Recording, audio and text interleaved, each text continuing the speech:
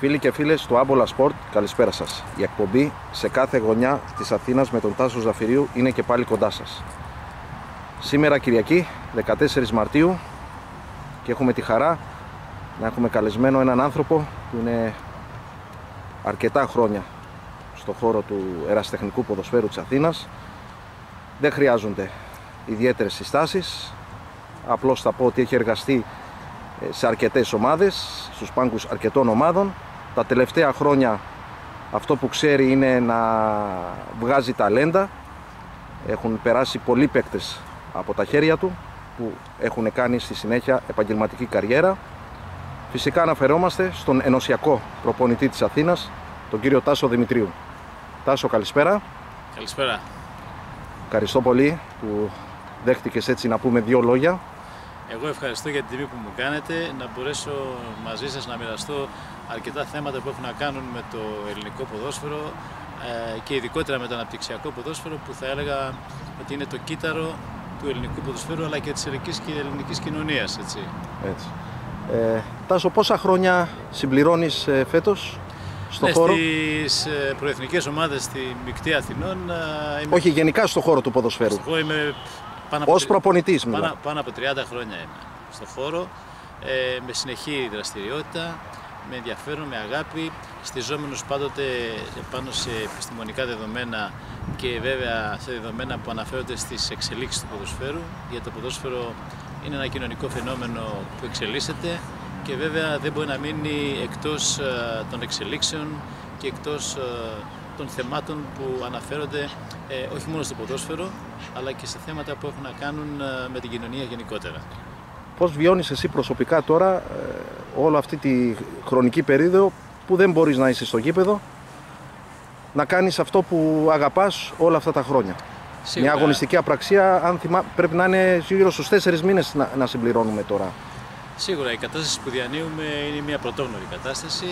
Νομίζω ότι η πανδημία έχει δημιουργήσει τεράστια προβλήματα και πολλές έτσι, αρνητικές συνέπειες ε, ε, και στην κοινωνία αλλά πιστεύω και γενικότερα ε, στην οικονομία, ε, στην ζωή μας γενικότερα και ειδικότερα βέβαια στον αθλητισμό και στο ποδόσφαιρο που αυτή, αυτή η περίοδος δρά ανασταλτικά στην εξέλιξη του αθλητισμού αλλά και του ποδοσφαίρου και οπωσδήποτε στην εξέλιξη των παικτών που έχουν τις δυνατότητες και το ταλέντο να μπορέσουν να εξελίξουν τις δεξιότητές τους και να κάνουν καριέρα ε, και στο επαγγελματικό ποδόσφαιρο.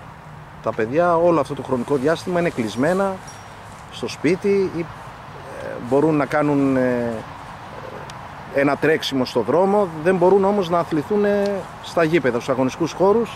Δεν ξέρω αν θα μπορούσε να γινόντουσαν οι προπονήσεις, τουλάχιστον ένα γκρουπ σε ένα γήπεδο ο οποίος είναι ένας ανοιχτός χώρος. Δεν ξέρω ποια είναι η άποψή σου. Σίγουρα τα προβλήματα της πανδημίας είναι πάρα πολλά. Σίγουρα η κατάσταση που διανύουμε είναι πάρα πολύ δύσκολη, η οποία εξελίσσεται αρνητικά θα έλεγα και νομίζω ότι όποιες αποφάσεις έχουν πάρθει έχουν πάρθει προς τη σωστή κατεύθυνση αλλά νομίζω ότι ειδικά στις αναπτυξιακές ηλικίες και στον αθλητισμό θα έπρεπε ε, να υπάρχουν κάποιες αποφάσεις οι οποίες θα δίνουν τη δυνατότητα στους αθλητές και στους συλλόγους να μπορούν να αναπτύξουν τις δραστηριότητε τους με όλα τα υγειονομικά πρωτόκολλα που πρέπει να ισχύουν και τα παιδιά να μην είναι ε, στα σπίτια τους κλεισμένα και δεν μπορούν να εκτονώσουν τη βιολογική τους δύναμη αλλά και να μπορέσουν να ασχοληθούν με τον αθλητισμό που ο αθλητισμός θα έλεγα ε, δημιουργεί ε, πολύ καλή αν θέλετε, χαρα... Ε,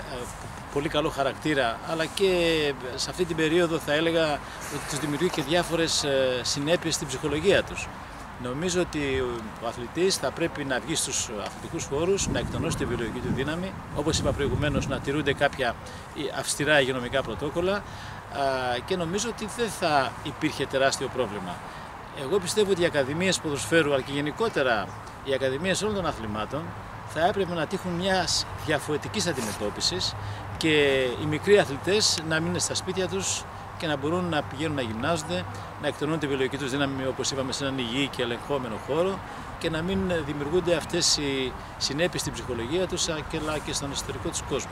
ερχόμενη εδώ για τη συνέντευξη, συνάντησες έναν νεαρό ποδοσφαιριστή, ο οποίος σε ρώταγε Τάσο και σου έλεγε ότι δεν μπορεί κάπου να πάει να κάνει μια προπόνηση, να γυμναστεί.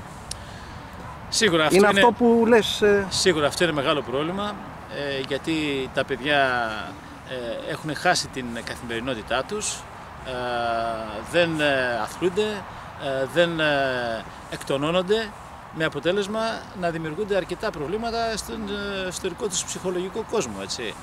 Ε, νομίζω λοιπόν ότι όσο κι αν λέμε ότι υπάρχουν δυσκολίες, νομίζω ότι μπορούν να βρεθούν λύσεις χωρίς να δημιουργούνται αρνητικές συνέπειες και τα παιδιά να αθλούνται, να γυμνάζονται και οι σύλλογοι να λειτουργούν με όλα, όπως είπα προηγουμένως, τα αυστηρά υγειονομικά πρωτόκολλα για να μην έχουμε ε, περαιτέρω προβλήματα. Δόθηκε το πράσινο φως για την έναξη προπονήσεων στη Football League.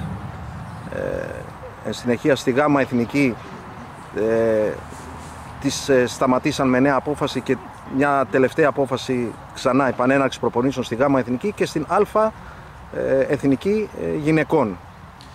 Ναι, νομίζω ότι σιγά σιγά, αν βέβαια και η εξέλιξη της πανδημίας αρχίζει να βελτιώνεται, θα πρέπει να ανοίξουν και οι δραστηριότητες σε όλο το φάσμα του αθλητισμού και του ποδοσφαίρου, ε, γιατί νομίζω ότι η ανασχόληση με τον αθλητισμό και σε οργανωμένες ε, ομάδες και διαδικασίες δεν μπορεί να δημιουργήσει περαιτέρω προβλήματα στην, στην εξέλιξη της πανδημίας. Και εκεί οι ειδικοί επιστήμονες αλλά και οι ομοσπονδίες και γενικότερα οι υπεύθυνοι του αθλητισμού θα πρέπει να βρουν λύσεις για να μπορέσει η δραστηριότητα αυτή να επαναλειτουργήσει και να λύσει τεράστια προβλήματα που δημιουργούνται σε όλους τους χώρους. Βέβαια, Τάσο, είναι και το κομμάτι των τεστ. Εάν ανοίξουν, ποιος θα αναλάβει το οικονομικό κομμάτι των τεστ. Διότι και τα σωματεία, τα ερασιτεχνικά σωματεία της Αθήνας δεν ε, λειτουργήσαν, δεν έχαν έσοδα. Θα πρέπει η πολιτεία να, έτσι, δεν είναι κάποιος να αναλάβει το οικονομικό Σίγουρα το οικονομικό θέμα είναι πάρα πολύ σοβαρό ε, για να μπορέσουν να γίνονται όλα όσα πρέπει για να εξασφαλίζεται η υγεία ε, των αθλητών. Νομίζω όμως ότι υπάρχουν επιχορηγήσεις προς την τοπική αυτοδιοίκηση από προγράμματα του Υπουργείου Εσωτερικών αλλά και από προγράμματα ΕΣΠΑ που μπορούν να διατηθούν στους Δήμους και στη συνέχεια στους συλλόγους να μπορούν να γίνονται αυτά τα τεστ και οπωσδήποτε ε, να εφαρμόζονται όλα αυτά τα οποία χρειάζονται για να μην έχουμε αρνητικές εξελίξεις ε, στο θέμα της πανδημίας. Άρα πιστεύω ότι για όλα υπάρχουν λύσεις. Αρκεί να υπάρχει βούληση, η θέληση και να ασχοληθούμε ε, πιο σοβαρά με τα θέματα του αθλητισμού. Η επόμενη μέρα του εραστεχνικού ποδοσφαίρου της Αθήνας θα είναι διαφορετική; Νομίζω ότι αυτή η εξέλιξη της πανδημίας θα δημιουργήσει ε, νέες διαδικασίες και οπωσδήποτε θα αλλάξει πάρα πολλά πράγματα ξεκινώντας από τις ανθρώπινες σχέσεις. Νομίζω ότι αυτά που ίσχυαν στο παρελθόν θα αλλάξουν ε, σε αρκετά επίπεδα και ειδικότερα και για τον αθλητισμό. Ε, οι συνθήκες θα είναι διαφορετικές. Νομίζω ότι αυτή η περίοδος ε, έχει δημιουργήσει τεράστια προβλήματα στην εξέλιξη και του ελληνικού αθλητισμού αλλά και του ποδοσφαίρου. Θα πω χαρακτηριστικά ότι το 2004 η Ελλάδα στις 55 χώρες της Ευρώπης ε, είχε μία θέση στην 8η αν θυμάμαι καλά ε, και σήμερα ε, είναι πάνω από 20. Η διεθνική ομάδα μετά το Euro του 2004 που πήραμε το, το πρωτάθλημα στην Πορτογαλία είχαμε στις, στις 210 χώρες θέση στην 20 και σήμερα είμαστε στην 55η θέση. Αυτό δείχνει ότι το ποδόσφαιρο το ελληνικό αρχίζει να φθήνει, ε, να έχει προβλήματα και βέβαια με την ε, πανδημία τα προβλήματα θα διωγγωθούν ακόμα περισσότερο.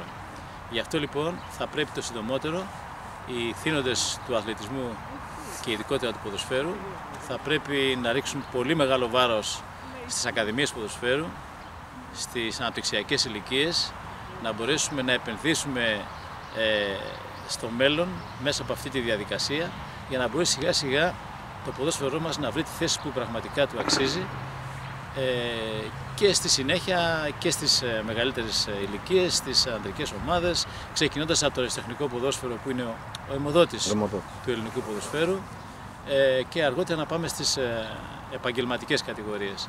Νομίζω χρειάζεται μία αναδιοργάνωση, χρειάζεται ένας ανασχηματισμός. Νομίζω ότι η Ομοσπονδία ε, θα κάνει τα πάντα, ε, έχει τις δυνατότητες και με τη νέα διοίκηση που θα εκλεγεί να μπορεί να δει με ευαισθησία τα θέματα υποδομής, τα θέματα οργάνωσης, τα θέματα του ανασχηματισμού των διαδικασιών αλλά και των πρωταθλημάτων αλλά και των γενικότερων λειτουργιών που άπτονται της δραστηριότητας, ξεκινώντας από τις μικρές αναπτυξιακές ηλικίες, τις ακαδημίες ποδοσφαίρου, τα αριστεχνικά σωματεία και πηγαίνοντας αργότερα στο επαγγελματικό ποδόσφαιρο. Ε, έχουμε πολλή δουλειά μπροστά μας. Ε, μακάρι το πρόβλημα της πανδημίας, η εξέλιξή του να είναι όσο δυνατόν καλύτερη, το συντομότερο να βγούμε από αυτή τη δύσκολη περίοδο και να δούμε το αύριο ε, με καλύτερο μάτι, με καλύτερες ε, συνθήκες, ε, με καλύτερη οργάνωση, με καλύτερο προγραμματισμό για να μπορέσουμε να φτάσουμε το ελληνικό ποδόσφαιρο εκεί που πραγματικά του αξίζει γιατί έχει δυνατότητες τεράστιες οι οποίες παραμένουν αναξιοποιητές και νομίζω ότι αν όλοι δουλέψουμε για το κοινό καλό του ποδοσφαίρου και του αθλητισμού η επόμενη μέρα πιστεύω ότι θα είναι καλύτερη. Υπάρχουν σοβαρές δυσκολίες αλλά νομίζω ότι θα τα καταφέρουμε εσύ coach τι εισπράττεις από τα παιδιά της μεικτής ΕΠΣΑ με τους οποίους ε, βλέπω στο facebook ότι μιλάτε διαδικτυακά ναι. τι εισπράττεις, θέλουν ε, και αυτοί να αρχίσουν έτσι, να ξεκινήσουν έτσι προπονήσεις. Ναι, η δύσκολη αυτή περίοδος ε, δεν μας επιτρέπει και εμάς τις ε, μεικτές ομάδες, προεθνικές ομάδες να λειτουργήσουμε. Ε, είχαμε μια πολύ καλή ε, ομάδα την περίοδο που μας πέρασε με παιδιά γεννηθέντες το 2006 η Μικτή Αθηνών ε, είχε μια πάρα πολύ καλή παρουσία στην πρώτη φάση. Ε, βγήκε πρώτη στον ομιλό της, ε, με συνεχόμενες νίκες, με παθητικό μηδέν και προκρίθηκε στην δεύτερη φάση σε ένα παιχνίδι με την Μικτή Αχαΐας, το οποίο δεν έγινε ποτέ γιατί η πανδημία δυστυχώς σταμάτησε την περαιτέρω δραστηριότητα. Ήταν και είναι μια ομάδα η οποία έχει πάρα πολλές δυνατότητες, έχει πάρα πολλά ταλέντα, ε, με πολύ μεγάλη προοπτική εξέλιξης αλλά δυστυχώς όπως είπα προηγουμένως η πανδημία δεν μας ε, επέτρεπε και δεν μας επιτρέπει να μπορούμε να συνεχίσουμε την ενεργό αγωνιστική δραστηριότητα. Παρ' όλα αυτά όμως για να μην ε, τα παιδιά είναι απενεργοποιημένα πλήρως και γνωρίζοντας ότι αυτή, αυτός ο εγκλισμός δημιουργεί τεράστια προβλήματα στην ψυχολογία τους και στο ψυχικό τους κόσμο εμείς προγραμματίσαμε και οργανώσαμε τηλεκπαιδεύσεις σε ε, αρκετές θεματικές ενότητες ε, και βλέπω ότι υπάρχει συμμετοχή. Υπάρχει συμμετοχή, τα παιδιά συμμετέχουν, ε, το περιεχόμενο της τηλεκπαίδευσης είναι καθαρά διαδραστικού χαρακτήρα, με συμμετοχή, ενεργό συμμετοχή των παιδιών και νομίζω ότι αυτό βοηθάει περισσότερο από το να μην κάνουν τίποτα. Είναι, είμαστε σε μια συνεχή επαφή. Αυτό που διαπιστώνουμε είναι η αγάπη για το ποδόσφαιρο, το ενδιαφέρον και πραγματικά θέλουν άμεσα να μπορούν να βρεθούν στους αγωνιστικούς χώρους, να παίξουν, να διασκεδάσουν, να προπονηθούν και να εξελίξουν τις δυνατότητες και το ταλέντο τους για να μπορέσουν αργότερα να στελεχώσουν τις εθνικές ομάδες αλλά και το ελληνικό ποδόσφαιρο. Ε, στις διαδικτυακές αυτές ε, ε, εκπαιδεύσεις. Ε, είχαμε και τη συμμετοχή του Ομοσπονδιακού Προπονητή του κ. Χατζόπουλου, ε, που ήταν ένα κίνητρο για τα παιδιά να μπορούν να συμμετέχουν με μεγαλύτερο ενδιαφέρον, μεγαλύτερη όρεξη και τουλάχιστον από ό,τι φαίνεται αυτές οι διαδικασίες και αυτή η απόφαση που πήραμε να έχουμε την επαφή και επικοινωνία και διαδικτυακά με τα παιδιά έχει βοηθήσει αρκετά και νομίζω ότι σε αυτή τη δύσκολη περίοδο είναι κάτι που βοηθάει προς μια έτσι θετική κατεύθυνση. Ωραία, μια που είμαστε στο κομμάτι της μικτές της ΕΨΑ, να μου αναφέρεις Τάσο τους συνεργάτες σου. Ναι, οι συνεργάτες μου θα έλεγα είναι ότι καλύτερο υπάρχει και, νομίζω, και νομίζω η επιτυχία της Μικτής Αθηνών ε, έγκυται και στο επίπεδο ε, την ποιότητα των ανθρώπων αλλά και τις ε, γνώσεις ε, ε, που έχουν, οι οποίες είναι γνώσεις θα έλεγα εξειδικευμένες με πανεπιστημιακή μόρφωση περισσότερη. Ε, και νομίζω ότι η δουλειά που κάνουμε είναι πάρα πολύ καλή, τα αποτελέσματα φαίνονται ε, και πιστεύω ότι αν με το καλό ξεκινήσουμε η δραστηριότητα θα συνεχιστεί και οι επιτυχίες πιστεύω ότι θα είναι δεδομένες γιατί μέσα από τη συνεργασία λένε μπορείς πολλές φορές να κερδίζεις αυτό που δεν μπορείς μόνος σου. Οι συνεργάτες μου λοιπόν εδώ και αρκετά χρόνια είναι ο Δημήτρης Πυρδόπουλος που είναι ο βοηθός, ε, είναι ο Μάνος ο Τελωνιάτης ο οποίος είναι ο, ο γυμναστής της Μικτής, ε, είναι ο Άρης ο Κατοπόδης ο οποίος είναι και αυτός αναλυτής προπονητής, ε, είναι ο Τάσος Δημουλιάς ο οποίος είναι προπονητής δραματοφυλάκων, είναι η αθλητική ψυχολόγος η κυρία Γλυκερία Σκούρα, η οποία και αυτή κάνει εξαιρετική δουλειά και πιστεύω η παρουσία της αυτή τη δύσκολη περίοδο μας έχει βοηθήσει πάρα πολύ και έχει βοηθήσει και τα παιδιά πάρα πολύ. Ε, από εκεί και πέρα είναι οι άνθρωποι που στηρίζουν την δραστηριότητα, είναι ο κύριος ε, Σωτήρης Παράσογλου, ο οποίος είναι ο άνθρωπος που ασχολείται με το υλικό της ομάδας και βέβαια άφησα τελευταίο τον κύριο Κασκαντήρη το, το, Δήμο. το Δήμο, ο οποίος είναι η ψυχή της Μικτής, είναι ο πρόεδρος της Επιτροπής, μαζί βέβαια με τον κύριο Ρούσο, τον Γιάννη, και τον κύριο Τάσο το Λιμπέρι.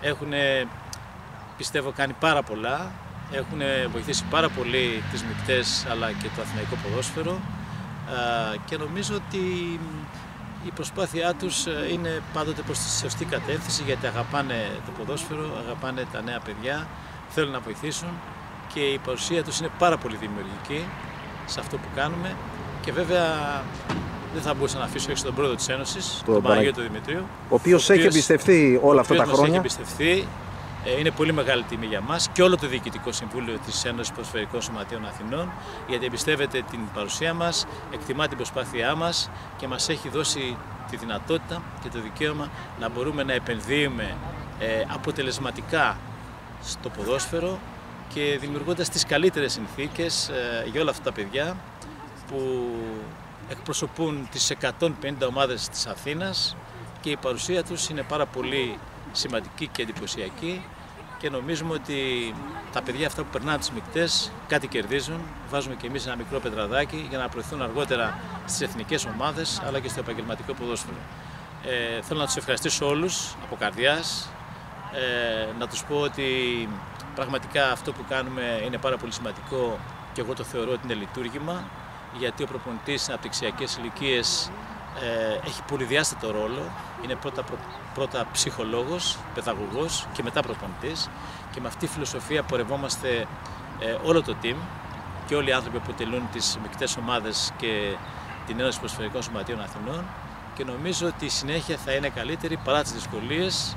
Νομίζω θα τα καταφέρουμε να επανέλθουμε ε, με μεγαλύτερη όρεξη, με μεγαλύτερη δραστηριότητα και περισσότερες επιτυχίες. Λοιπόν, Τάσο, έχουν περάσει πολλά παιδιά από τις μικτές της ΕΨΑ και από τα δικά σου χέρια που αργότερα έκαν, έκαναν αυτό το παραπάνω βήμα που ανέφερες. Έχουν παίξει σε επαγγελματικές κατηγορίες, σε επαγγελματικές ομάδες και μέχρι και στην εθνική ομάδα. Ποια ονόματα τώρα σου έρχονται στη μνήμη, Τάσο, να μου αναφέρεις κάποια παιδιά. Είναι, είναι πάρα πολλά τα παιδιά και πραγματικά αισθάνομαι και εγώ υπερήφανος, αισθάνομαι πολύ ευτυχής ε, γιατί πραγματικά όλα αυτά τα παιδιά που περάσαν από εμάς όλα αυτά τα χρόνια. Ε, να φανταστείτε ότι εγώ είμαι από το 1990 στις μικρέ ομάδες. Ε, βλέπουμε με χαρά ότι κάνουν καριέρα, προοδεύουν στη ζωή τους και αισθανόμαστε και εμείς μια ικανοποίηση ότι έχουμε βάλει ένα μικρό λιθαράκι στο να διαμορφώσουν την ποδοσφαιρική τους αξία αλλά και την προσωπικότητά τους γενικότερα που στη, στη συνέχεια τους βοηθάει όχι μόνο να παίξουν ποδόσφαιρο αλλά να γίνουν σωστοί άνθρωποι, οικογενειάρχες, ε, και να έχουν μια πάρα πολύ αξιοζήλευτη και αξιοπρεπή παρουσία στην, ε, στο ποδόσφαιρο αλλά και στην ελληνική κοινωνία. Ε, να θυμηθώ από τότε που τουλάχιστον ξεκίνησα που είχα ποδοσφαιριστές αυτούς που παίξαν στο 2004 στο, στην Πορτογαλία, τον Καραγκούνη, τον Μπασινά, τον Γιανακόπουλο, τον Στέλιο. Ε, πάρα πολλά παιδιά αυτής της φουνιάς, ε, θα έλεγα ε, ήταν πάρα πολύ καλοί παίκτες και το δείξανε. Αργότερα υπήρξαν πάρα πολλοί άλλοι παίκτες, ο Αντώνης ο Πετρόπουλος, ο Τριποτσέρης, ο, ο Μάρκος Οβελίδης, ο Τσακονάκης, ε, παιδιά δηλαδή που έχουν κάνει καριέρα στο, στο επαγγελματικό ποδόσφαιρο και τελευταία βλέπουμε παιδιά πάλι όπως είναι ο Αλεξανδρόπουλος του Μαθηναϊκού, ο Καπετζής, ο Σερπέζης, ε, ο Τζαβίδας, ε, πάρα πολλά παιδιά δηλαδή που αυτή τη στιγμή τους βλέπουμε και βρίσκονται στο επαγγελματικό ποδόσφαιρο. Και πραγματικά αισθανόμαστε και εμείς μια ικανοποίηση ότι περάσαν από τις μικτές και τους βοηθήσαμε να κάνουν κάτι καλύτερο. Και τελευταία θα έλεγα ε, υπάρχει ένας παίκτης στον Ολυμπιακό, γεννηθής το 2003, ο Γιάννης ο Χριστοφιλόπουλος, ο οποίος ήταν βασικός τέλεχος της Μικτής Αθηνών, όταν φτάσαμε και μέχρι τον ημιτελικό θυμάμαι, ε, και βλέπω ότι σήμερα τον έχει επιλέξει ο κύριος ε, ε Μάρτινς να τον ε, χρησιμοποιήσει στο παιχνίδι με τη Λάρισα. Ε, για μας είναι πολύ μεγάλη χαρά, πολύ μεγάλη τιμή, ένα παιδί που το είχαμε δύο χρόνια στις μικτές ομάδες και ξαφνικά τον βλέπουμε μέσα από την προσπάθεια που έχει κάνει και στην ομάδα του ε, να έχει φτάσει σε ένα τόπο επίπεδο σε τόσο πολύ μικρή ηλικία να μπορεί ο προπονητής του Ολυμπιακού να σκέφτεται να τον ε, εμπιστευτεί στο πρόσφατο παιχνίδι.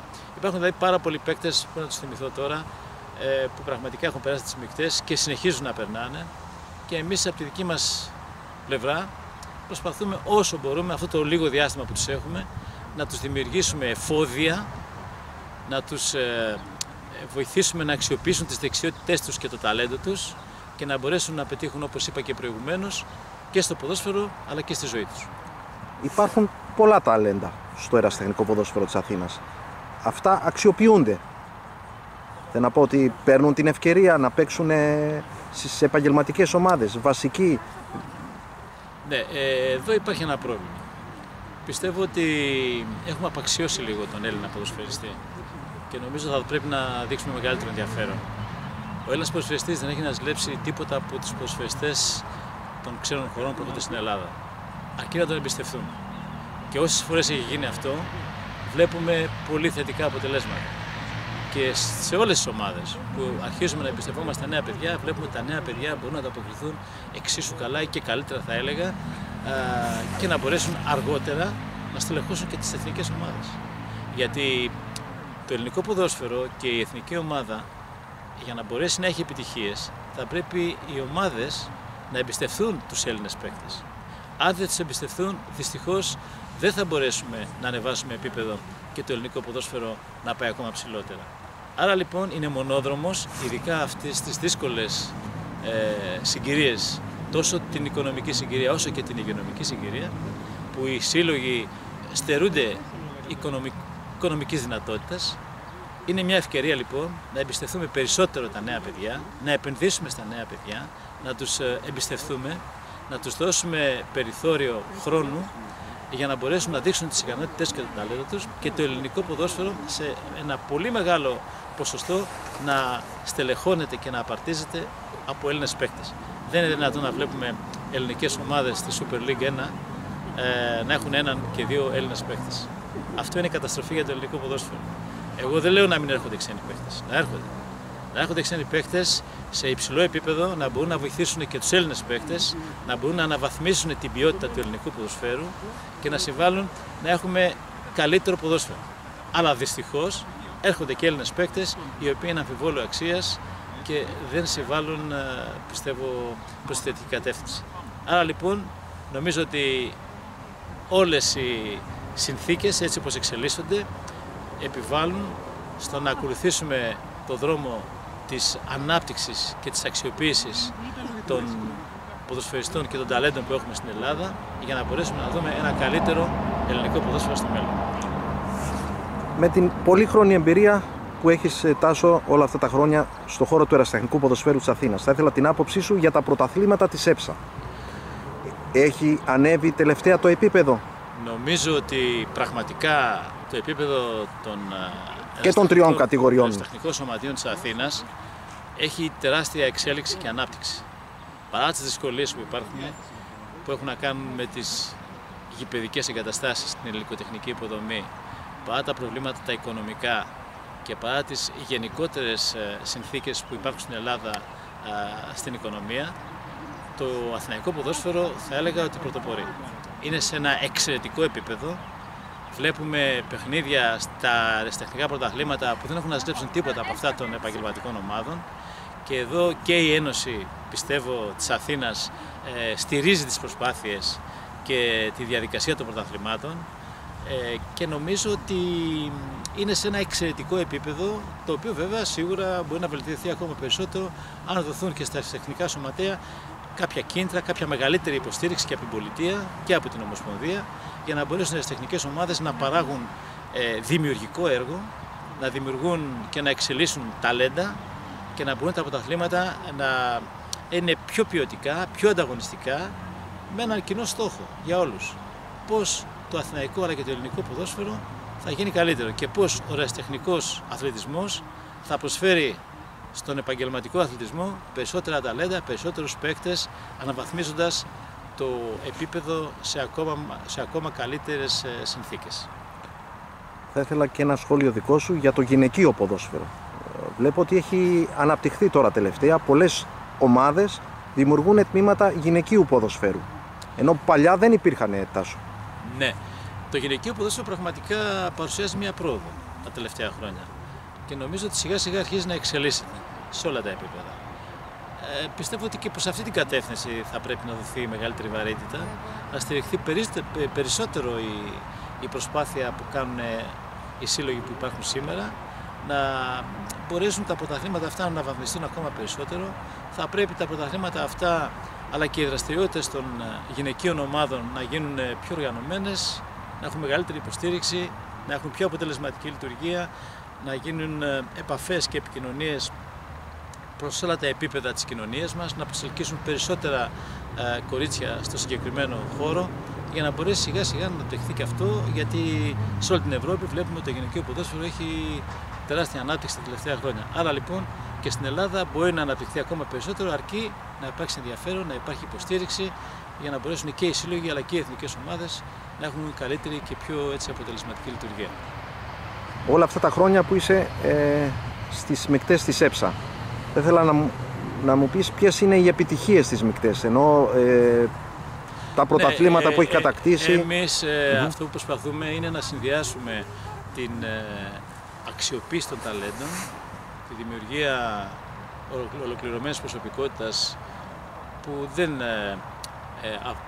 απαρτίζεται μόνο την προσφαιρική αξία η προσωπικότητα, χρειάζονται και άλλα στοιχεία. Προσπαθούμε λοιπόν προς αυτήν την κατεύθυνση να δημιουργήσουμε τον παίκτη της εθνικής ομάδας του αύριο, τον παίκτη που θα στελεχώσει αργότερα και το επαγγελματικό ποδόσφαιρο και παράλληλα βέβαια κοιτάμε και τα αποτελέσματα, κοιτάμε την παρουσία μας στα πρωταθλήματα, να είναι όσο πιο ανταγωνιστική γίνεται, χωρίς να παραγνωρίζουμε όμως την αξιοποίηση του ταλέντου.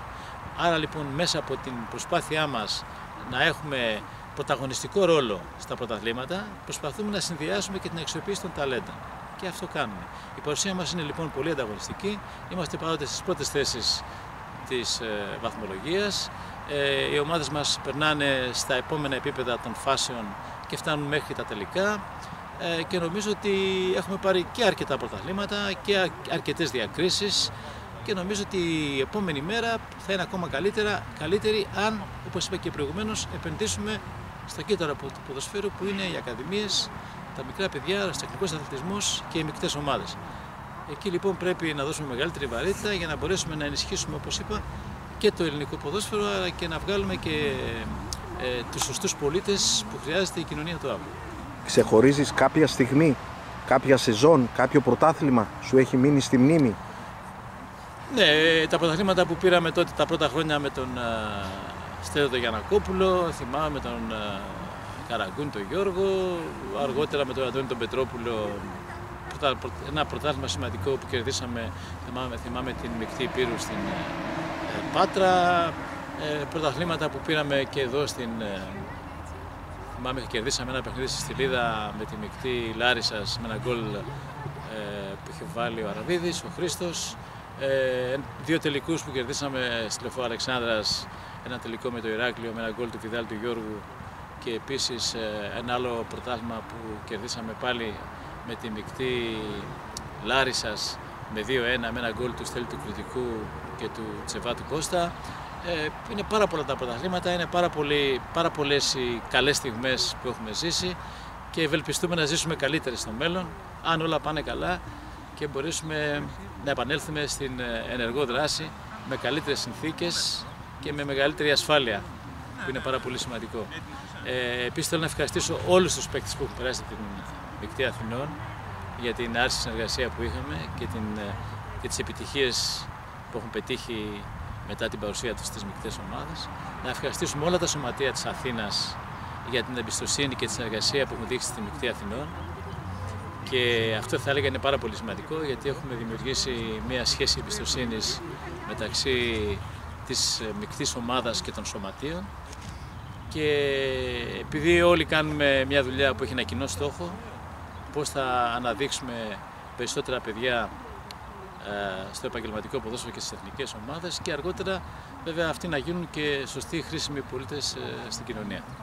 Ε, να μου αναφέρεις και τους υπόλοιπους που είναι στις μεικτές ΕΠΣΑ, είναι ο Δημήτρης ο Κωνσταντόπουλος. Ε, ε είναι στους, στους πιο μικρούς, στους mm προπαίδες θα έλεγα, στους, στην πιο μικρή ηλικία. Είναι ο Κωνσταντόπουλος, νομίζω είναι και ο, ο Θοδωρής Ομοσχονάς, είναι και άλλοι ένας-δύο συνεργάτες που βοηθάνε την προσπάθεια και εκεί. Ε, γίνεται μια καλή δουλειά και εκεί πέρα και νομίζω τα αποτελέσματα και εκεί σιγά σιγά θα φανούν. Ε, νομίζω ότι σε όλα τα επίπεδα της μεικτής ε, γίνεται μια καλή και οργανωμένη δουλειά και τα αποτελέσματα είναι, ήταν, είναι και θα είναι ακόμα καλύτερα στη συνέχεια. Θα ήθελα τώρα και το δικό σου σχόλιο για τις επικείμενες εκλογές της ΕΠΟ. Κοίταξε, εγώ αυτό που τουλάχιστον ε, επιθυμώ είναι η όποια διοίκηση αναλάβει να προσπαθήσει να βελτιώσει λίγο τη λειτουργία του ελληνικού ποδοσφαίρου, ξεκινώντας όπως είπα από χαμηλά και πηγαίνοντας ψηλά. Δηλαδή να ξεκινήσουμε από το, από το κύτταρο που είναι ακαδημίε και σιγά σιγά να πάμε προς το στο ανδρικό και επαγγελματικό ποδόσφαιρο. Νομίζω ότι η διοίκηση που θα εκλεγεί θα κάνει ό,τι καλύτερο γίνεται και βέβαια σύμφωνα με την ε, προσπάθεια και τη συνεργασία που γίνεται και με την UEFA μέσα από κάποια θα έλεγα μελέτη που έχει γίνει για το ελληνικό ποδόσφαιρο νομίζω ότι είναι μια πρόκληση για την νέα διοίκηση να μπορέσει να αναβαθμίσει ακόμα περισσότερο το ελληνικό, επίπεδο, το ελληνικό ποδόσφαιρο σε όλα τα επίπεδα και να δούμε καλύτερες μέρες τα επόμενα χρόνια. Και το σχόλιο σου και για τις επικείμενες εκλογές ε, στην Ένωση Ποδοσφαιρικών Σωματείων Αθηνών. Εντάξει, νομίζω ότι στην Ένωση Αθηνών το Διοικητικό Συμβούλιο αυτά τα χρόνια έχει αποδείξει ότι κάθε μέρα ε, προσπαθεί για το καλύτερο. Είναι πολύ πετυχημένη η διοίκηση όλα αυτά τα χρόνια. Έχει παράξει σημαντικό έργο. Έχει δημιουργήσει πρωταθλήματα σε όλα τα επίπεδα. Ε, ξεκινώντας την ηλικία των, των 10 ετών ε, μέχρι τα αντρικά πρωταθλήματα και νομίζω ότι λειτουργεί σε πάρα πολύ ανταγωνιστικό επίπεδο σε σχέση με όλες τις άλλες ενώσεις που και εκεί γίνεται καλή δουλειά αλλά θέλω να πιστεύω ότι η Αθήνα πρωτοπορεί σε όλα τα επίπεδα. Και νομίζω αξίζουν συγχαρητήρια στο Διοικητικό Συμβούλιο της Ένωσης και στον πρόεδρο κ. Παναγιώτη Δημητρίου για όλη αυτή την πολύ σημαντική δουλειά που γίνεται όλα αυτά τα χρόνια. Και νομίζω ότι η αξία είναι και η επιτυχία θα έλεγα μαζί ότι ε, κάθε χρόνο κάθε χρόνος που έρχεται όλο και καλύτερο επίπεδο έχουμε ε, θα έλεγα και στα πρωταθλήματα και στη διατησία και σε αυτά που γίνονται στις μικρότερες ηλικίες, στα πρωταθλήματα υποδομής. Στα πρωταθλήματα υποδομής, θα έλεγα, η Αθήνα είναι πρωτοπόρος.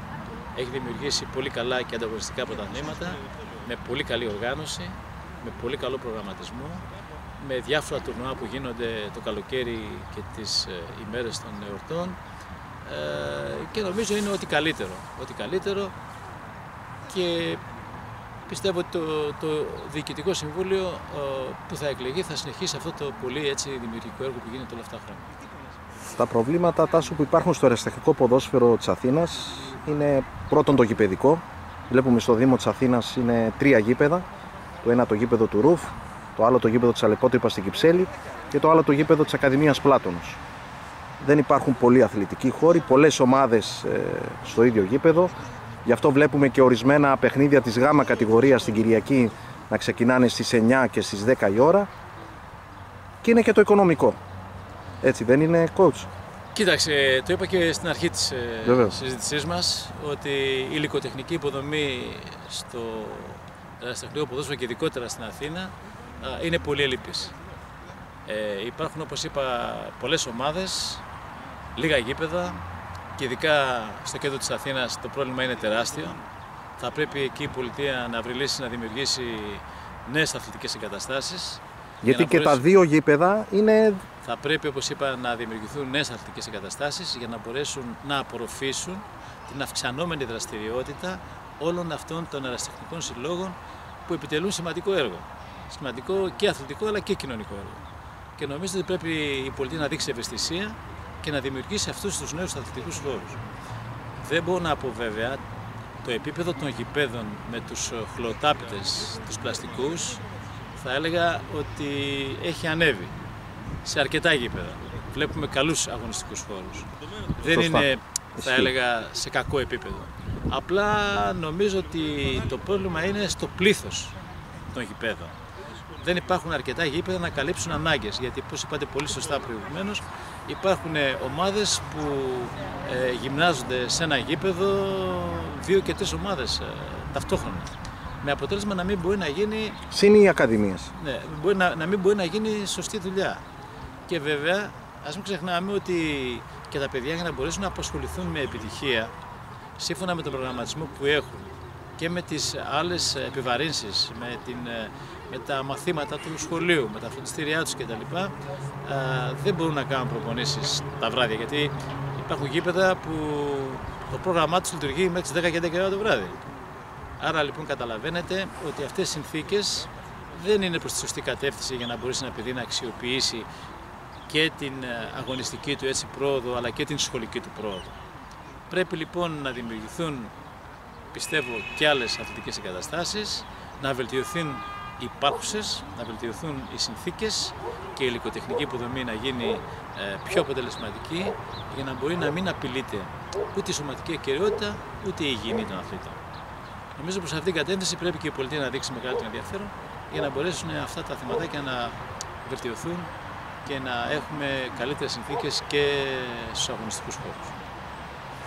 Τάσο, έχεις εργαστεί και σε αρκετές ομάδες, υπήρξες στον πάγκο αυτών των ομάδων και σου έρχονται έτσι να μου κάνεις... Οι αναμνήσεις μου είναι πάρα πολύ ωραίες. Ε, έχω δουλέψει σε αρκετές ομάδες, θα αναφέρω μερικές, ξεκινώντας από την ομάδα της καρδιάς μου που είναι η Αθλητική Ένωση Χαλανδρίου, Όπως επίσης η ομάδα. Η πρώτη σου ομάδα ως προπονητής, ε, Τάσο; Η, η πρώτη μου ομάδα ως προπονητής ήταν ο Νεοπεντελικό. Ξεκίνησα από εκεί πραγματικά και αυτή ήταν έτσι μια ομάδα που ε, με συνδέουν πολλές ε, αναμνήσεις ε, και θα έλεγα ότι έχω και ένα συναισθηματικό δέσμο γιατί από εκεί ξεκίνησε η προπονητική μου καριέρα. Ε, στη συνέχεια δούλεψα αρκετά χρόνια με επιτυχία στη Δέλτα Εθνική με την ομάδα τη Αγίας Παρασκευής, που πραγματικά και εκεί αυτή η ομάδα είναι με στην καρδιά μου. Είναι μια ομάδα που με συνδέουν φιλίες, επιτυχίες και πολύ ωραίες αναμνήσεις. Γεμάτα τα γήπεδα τότε. Ναι, ναι, ναι, ναι. Έχω δουλέψει στην Κηφισιά με μεγάλη επιτυχία. Στην ομάδα που βρίσκεται σήμερα στην ε, ΓΑΜΑ Εθνική. Στη Μαρκό με πολύ μεγάλη επιτυχία και εκεί. Στην ομάδα του Βουλησίου εδώ της γειτονιάς μου. Στην ομάδα του Γαλατσίου. Ε, στον Παράδεισο Αμαρουσίου. Σε πάρα πολλές ομάδες. Ε, και βέβαια είχα και ένα χρόνο παρουσία στην ΠΑΕ Άρης το 2000-2001 που τότε ο κ. Κοντομινάς μου εμπιστεύθηκε τη λειτουργία της ε, ομάδας του Άρη, μιας πολύ ιστορικής ομάδας, με πολύ μεγάλη ευθύνη αλλά και με πολύ αγάπη προσπάθησα να υπηρετήσω αυτή την τόσο πολύ μεγάλη και ιστορική ομάδα με επιτυχία ε, που και εκεί με συνδέουν πολύ ωραίες αναμνήσεις ε, μέσα από δύσκολες συνθήκες και καταστάσεις μπορέσαμε αυτή την ομάδα να τη φέρουμε σε ένα πολύ υψηλό επίπεδο γιατί νομίζω ότι ο Άρης είναι μια ιστορική ομάδα και αξίζει να βρίσκεται στο top του ελληνικού ποδοσφαίρου. Η ομάδα της καρδιάς σου είναι η Αθλητική Ένωση Καλανδρίου. Ναι, γιατί από εδώ ξεκίνησα την καριέρα μου την ποδοσφαιρική. Στο Χαλάνδρη τελείωσα την ποδοσφαιρική μου καριέρα.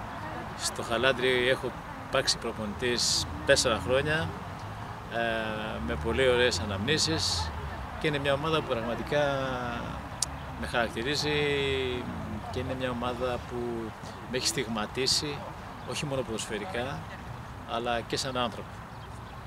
Ε, γιατί δεν σας κρύβω ότι τα πρώτα μου ποδοσφαιρικά βήματα ήταν εδώ, στην Αθλητική Ένωση Χαλανδρίου και πραγματικά αυτό είναι κάτι πάρα πολύ σημαντικό για μένα. Με συνδέουν συναισθηματικά και ο χώρος και οι άνθρωποι και οι συνθήκες και πραγματικά αισθάνομαι πάρα πολύ ωραία, πάρα πολύ όμορφα και εύχομαι στην ομάδα αυτή η οποία είναι πολύ μεγάλη και ιστορική ομάδα, το Χαλάνδρη, έχει παίξει και στη Β' Εθνική. Εύχομαι σιγά σιγά να ανέβει εκεί που πραγματικά αξίζει γιατί είναι ένας ιστορικός σύλλογος ε, που έχει αναδείξει πάρα πολλούς παίκτες, που έχει τεράστιες επιτυχίες στο παρελθόν και νομίζω ότι επειδή λέμε ότι το παρελθόν μας οδηγεί στο μέλλον, ε, η Αθλητική Χαλανδρίου αξίζει να είναι σε ένα υψηλότερο επίπεδο και στο ποδόσφαιρο και από όλες τις ομάδες που έχεις εργαστεί, ποιες ξεχωρίζεις ως καλύτερες αγωνιστικές στιγμές. Ακόμα έτσι τις θυμάσαι; Ναι, σε αυτές τις ομάδες που σας είπα, πραγματικά εντάξει, υπάρχουν σε όλες τις ομάδες που έχω δουλέψει, έχουμε κάνει επιτυχίες. Ε, υπήρξαν και δύσκολες στιγμές και διστάσεις καταστάσεις, αλλά νομίζω ότι όλα είναι στη ζωή. Από τις ευχάριστες, ποιες επιλέγεις ως καλύτερες, ακόμα έτσι τις θυμάσαι; Ε, νομίζω ότι η καλύτερη ήταν και στο Χαλάνδρι τότε που σε μια δύσκολη περίοδο ήρθα και βοήθησα η ομάδα να μην ε, πέσει κατηγορία και δουλέψαμε πάρα πολύ καλά. Στην ε, Αγία Παρασκευή που εκεί είχαμε μεγάλη διάκριση και τα δύο χρόνια που δούλεψα σε, και τα τρία χρόνια σε υψηλό επίπεδο και στη Μαρκό που ήταν μια ομάδα που διεκδικούσε το πρωτάθλημα μέχρι τελευταία στιγμή. Ε, γενικότερα σε όλες τις ομάδες υπάρχουν και βέβαια θα έλεγα στις ομάδες των επεντελικών που ανεβήκαμε κατηγορία από την Γάμα τότε στη Β και από τον παράδοσο Αμαρουσού που και εκεί ανεβήκαμε από τη Γάμα στη Β. Ε, με πολύ μεγάλη επιτυχία. Νομίζω ότι σε όλες τις ομάδες ε, έχουν υπάρξει πολύ ωραίες και ανεπανάληπτες στιγμές και είναι αυτές που τις θυμάμαι και με χαρακτηρίζουν. Οι διαφορές του αεραστεχνικού ποδοσφαίρου της Αθήνας, του τότε με το τώρα. Τότε, ναι. coach, όπως προανέφερα, τα γήπεδα ήταν σχεδόν γεμάτα, ήταν κατάμεστες οι εξέδρες. Ναι. Κοίταξε, υπάρχουν θετικά και αρνητικά. Τα θετικά ήταν τότε ότι ο κόσμος όντως πήγαινε στο γήπεδο περισσότερο. Το αριστεχνικό ποδόσφαιρο ε, ήταν, θα έλεγα, ε, πιο δυνατό, πιο αποφασιστικό. Ε, σήμερα έχει βελτιωθεί η ποιότητά του. Ε, το αρνητικό είναι ότι ο κόσμος δεν πάει στο γήπεδο σήμερα όπως πήγαινε τότε. Το αρνητικό του τότε είναι ότι οι αθλητικές εγκαταστάσεις ήταν σε κακό επίπεδο. Ήταν ξερά τα γήπεδα. Δεν υπήρχαν οι συνθήκες που υπάρχουν σήμερα. Τα γήπεδα σήμερα όλα έχουν βελτιώσει τον αγωνιστικό χώρο, έχουν χλωτάπητες. Ε, τηρούνται κάποιοι κανόνες ασφάλειας και υγιεινής με την παρουσία των γιατρών, με την υποχρεωτική δημιουργία ιατρίων στα γήπεδα. Ε, είναι καλύτερες συνθήκες σήμερα οι αγωνιστικές και οι, και οι συνθήκες οι γηπαιδικές από τότε. Τότε βέβαια υπήρχε, όπως είπα προηγουμένως, υπήρχε περισσότερο κόσμος στα γήπεδα, υπήρχε μεγαλύτερο ενδιαφέρον, αλλά το επίπεδο όμως το αγωνιστικό σήμερα πιστεύω ότι είναι καλύτερο. Είναι πιο ποιοτικό το ποδόσφαιρο, έχει μεγαλύτερη ταχύτητα, έχει περισσότερη δύναμη, ε, έχει καλύτερη ε, τεχνική ε, και νομίζω ότι αυτό έχει συμβάλει και στην αναβάθμιση. Έτσι. Βλέπουμε το ποδόσφαιρο σήμερα έχει αποκτήσει μεγαλύτερη ταχύτητα. Ε, Ένας παίκτης ε, που δεν σκέφτεται και δεν εκφράζεται γρήγορα στον αγωνιστικό χώρο δεν είναι πολύ ανταγωνιστικός. Όλα αυτά λοιπόν, καταλαβαίνετε κι εσείς, ε, συνθέτουν την εξέλιξη και του ελληνικού ποδοσφαίρου και του ποδοσφαίρου γενικότερα. Έτσι. Τι έχει κερδίσει ο Τάσος Δημητρίου με την ενασχόλησή του με το ποδόσφαιρο; Τι ναι, έχεις κερδίσει από το χώρο του ποδοσφαίρου; Ε, το πρώτο πράγμα που έχει κερδίσει είναι η ηθική ικανοποίηση. Επίσης, ε, το ποδόσφαιρο με έχει βοηθήσει να διαμορφώσω έναν χαρακτήρα και μια προσωπικότητα ε, μέσα από τις υγιείς διαδικασίες ε, της ανασχόλησής μου.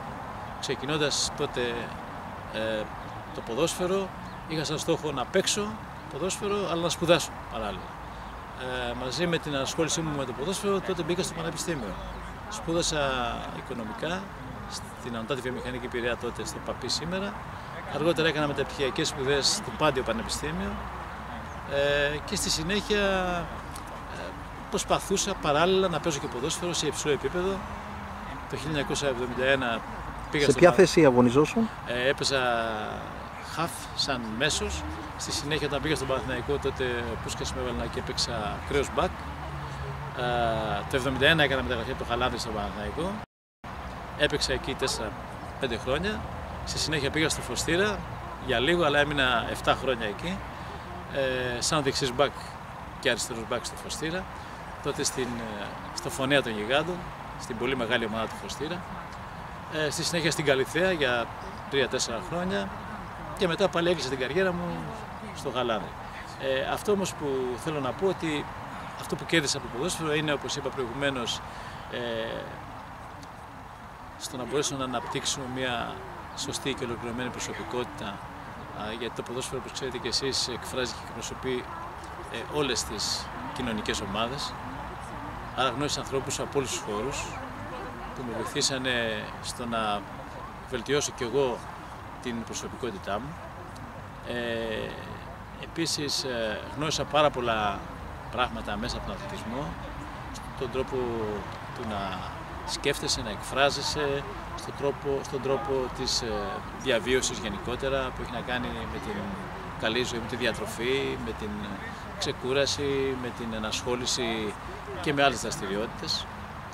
Ε, και αυτό που τουλάχιστον το μεγαλύτερο κέρδος για μένα είναι ότι κέρδισα πάρα πολλούς ε, φίλους, φίλους σωστούς, που με βοηθάνε ακόμα αυτές οι γνωριμίες και οι συνεργασίες στην καθημερινή μου ζωή και σήμερα.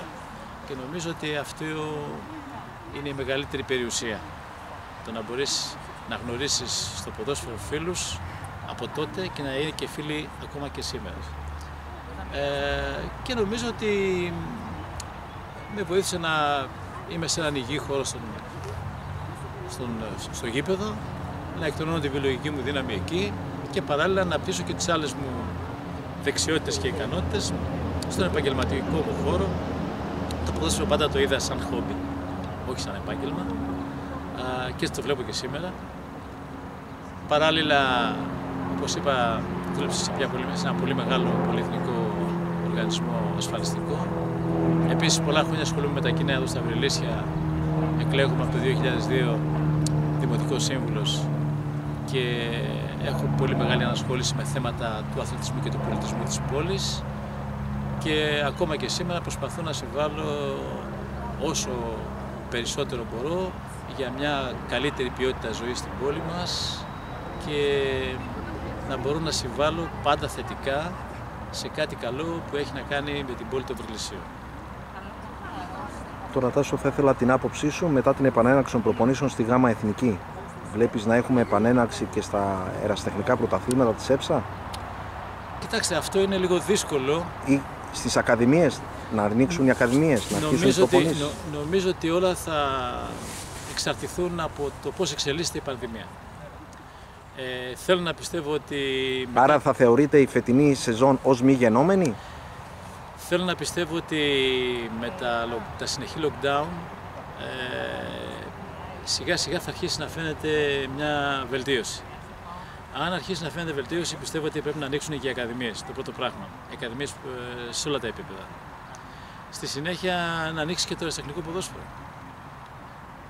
Και βέβαια, στη συνέχεια να υπάρξει μια ομαλοποίηση στον τρόπο λειτουργίας του αθλητισμού ε, και να μπορέσουν τα παιδιά να επανέλθουν στους αγωνιστικούς χώρους και να συνεχιστεί αυτή η δραστηριότητα η οποία θα έλεγα είναι πάρα πολύ σημαντική. Εγώ νομίζω λοιπόν ότι οι επόμενες μέρες θέλω να πιστεύω ότι θα είναι καλύτερες. Βέβαια θα εξαρτηθεί και από τη δική μας πειθαρχία του κόσμου στο πόσο σοβαροί και πειθαρχημένοι θα είμαστε στα μέτρα που πρέπει να λαμβάνονται για να μπορέσουμε στη συνέχεια σιγά σιγά να ανοίξουν όλες ε, οι δραστηριότητες της ε, κοινωνίας. Εσύ τώρα πώς αισθάνεσαι Τάσο που όλο αυτό το χρονικό διάστημα δεν μπορείς να μπεις στο γήπεδο, να κάνεις την προπόνηση. Σίγουρα, όπως είπα και προηγουμένως, είναι δύσκολες συνθήκες. Πώς περνάς δηλαδή το χρόνο ναι. που διέθετες στο ποδόσφαιρο; Προσπαθώ να διαβάζω περισσότερο για το ποδόσφαιρο, να παρακολουθώ διάφορα σεμινάρια προπονητικής, ε, να συμμετέχω σε διάφορες ε, διαδικτυακές ε, συζητήσεις που αναφέρονται στο αναπτυξιακό ποδόσφαιρο κυρίως, να ασχολούμαι με τα κοινά εδώ της πόλης, βέβαια και, και εδώ τα συμβούλια όλα τα κάνουμε διαδικτυακά.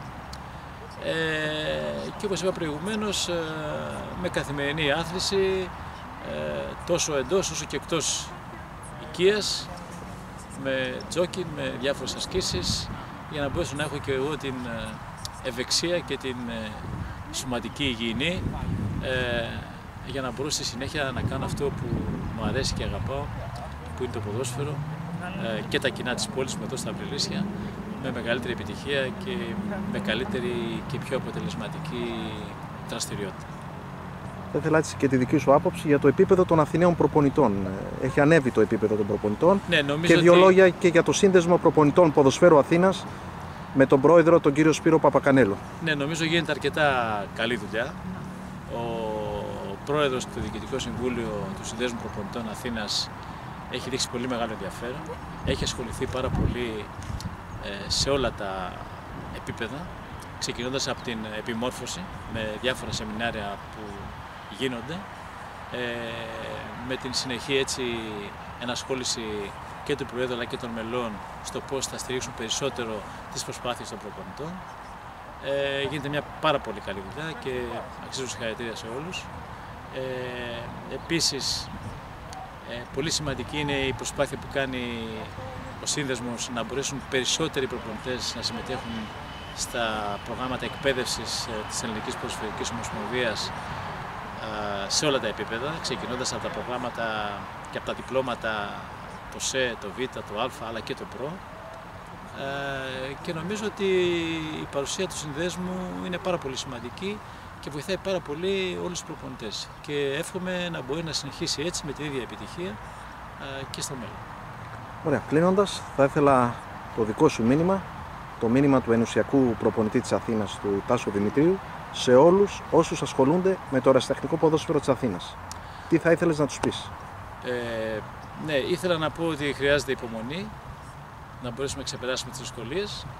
Χρειάζεται επιμονή στη συνέχεια για να μπορέσουμε να επανέλθουμε σιγά σιγά και σταδιακά στο επίπεδο που ήμασταν και γιατί όχι ακόμα καλύτερο. Ε, να πω στα νέα παιδιά ότι δεν πρέπει να απαγοητεύονται, ε, πρέπει να προετοιμάζονται για την επόμενη μέρα, πρέπει να σκέφτονται πώς θα επανέλθουν και στο τι πρέπει να κάνουν όταν με το καλό αρχίζουμε να μπαίνουμε στην κανονικότητα. Αυτή την περίοδο του εγκλισμού ε, και της απομόνωσης θα έλεγα από τις, από τις αγωνιστικές δραστηριότητες θα πρέπει όσο μπορούν είτε εντός κατοικίας είτε εκτός να μπορούν να κάνουν κάποιο ασκησιολόγιο, να γυμνάζονται. Επίσης να πω στους γονείς ότι θα πρέπει να στηρίξουν τις προσπάθειες των παιδιών τους όσο περισσότερο γίνεται γιατί είναι ευαίσθητες ηλικίες και χρειάζονται σήμερα πολύ μεγαλύτερη στήριξη και βοήθεια. Να πω στους ανθρώπους του αθλητισμού να προσπαθήσουν να ευαισθητοποιηθούν και να ε, βρουν λύσεις για την επόμενη μέρα ε, και γενικότερα στον κόσμο να πω ότι αυτή η πρωτοφανής δύσκολη περίοδο που περνάμε με την πανδημία είναι μια περίοδος που πραγματικά θα μας αλλάξει την καθημερινότητα σε πάρα πολλά πράγματα. Θα πρέπει να αναθεωρήσουμε όλοι πολλά πράγματα στη ζωή μας και να οπλιστούμε με δύναμη, με υπομονή και επιμονή για να μπορέσουμε να ξεπεράσουμε αυτές τις δυσκολίες και να επανέλθουμε στην καθημερινότητα με λιγότερα προβλήματα, με λιγότερες αρνητικές συνέπειες και με μια αισιοδοξία ότι το μέλλον θα είναι πολύ καλύτερο από το παρελθόν. Ωραία. Εγώ να σε ευχαριστήσω, να ευχηθούμε πάνω απ' όλα υγεία. Ο αθλητισμός είναι υγεία και γρήγορα να τα ξαναπούμε έτσι σε μια προπόνηση. Και εγώ θέλω να σε ευχαριστήσω και να σε συγχαρώ ε, που εδώ και πάρα πολλά χρόνια προσφέρεις ανεκτήμητες υπηρεσίες στον αθλητισμό και ειδικότερα στο αεραστεχνικό ποδόσφαιρο. Ευχαριστώ. Γιατί η παρουσία δική σου όπως και πολλών άλλων θα συμβάλλει θετικά στο να μπορέσουμε ε, να ξεπεράσουμε τις δυσκολίες, να καθοδηγήσουμε σωστά τους ανθρώπους του αθλητισμού και να τους προετοιμάσουμε για την επόμενη μέρα που θα πρέπει να είναι οπλισμένοι με μεγαλύτερη υπομονή, επιμονή και μεγαλύτερη προσπάθεια για να μπορέσουμε να επανέλθουμε στο επίπεδο που πραγματικά μας αρμόζει σαν χώρα αλλά και σαν λαός. Ευχαριστώ πολύ. Και εγώ.